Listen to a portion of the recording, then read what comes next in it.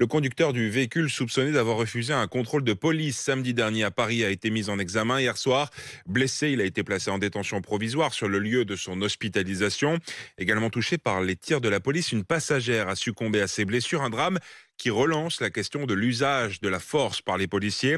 Un rassemblement est prévu demain à Paris, place de la République, pour réclamer le retrait d'un article de loi article de loi qui élargit l'usage des armes à feu par les policiers. Les précisions ce matin de Reming pour RMC.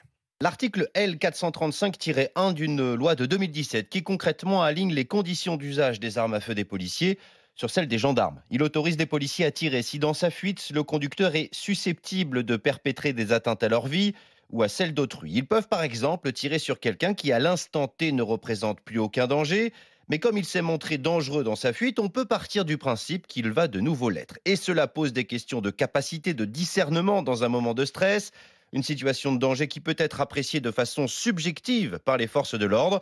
Autre question, celle de la formation des policiers à qui l'on confie ces armes. Pour rappel, les gendarmes ont une formation militaire, ce que n'ont pas les policiers.